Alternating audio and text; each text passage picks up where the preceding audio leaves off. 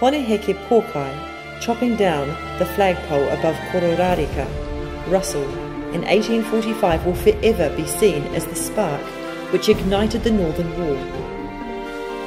It was in truth the last step in a long line of issues that had led Hone Heke, Kawiti, and factions of the Ngāpuhi inexorably to war. The main cause of the dispute revolved around sovereignty and the trampling of mana Maori, with one race of people assuming authority over another's territory.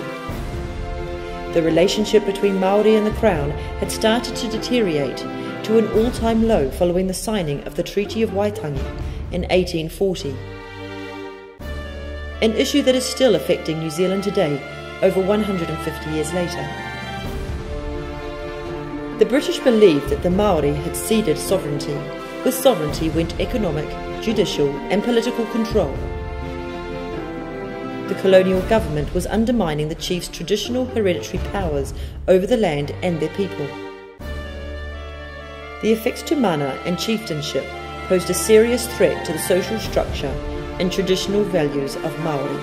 In the Bay of Islands, the tensions escalated as commerce moved to the new capital in Auckland, so did Ngāpuhi revenue. Ngāpuhi felt betrayed as the reality of British sovereignty was felt. Maori rights and expectations were usurped by the introduction of custom duties and levies, a ban on the felling of kauri, and crown control of land sales. Hone Heke had gifted the flagpole to the British resident. It flew the flag of the Confederation of the United Tribes of New Zealand at Waitangi until 1840. The British moved it to Kororareka and flew the Union Jack instead.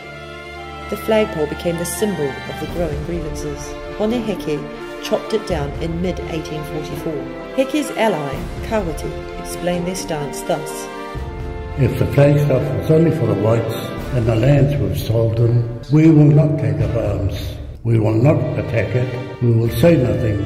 But this flag takes away the authority of our chiefs and all our lands. The British Governor Fitzroy acknowledged the flagpole itself was a mere stick, but connected with the British flag, it was of very great importance. Heke felled the flagpole for the fourth time during the Battle of Kororareka in March 1845. War was declared. The repercussion of those first shots fired in Kororareka was the arrival of the British military in force and 10 months of conflict. A conflict that would drag the British Redcoats further inland into hostile territory and set Ngāpuhi against Ngāpuhi, with fighting at Puketutu, Te Ahuahu and Ohaeawai, redefining British military expectations. The final battle was at Te Ruapekapeka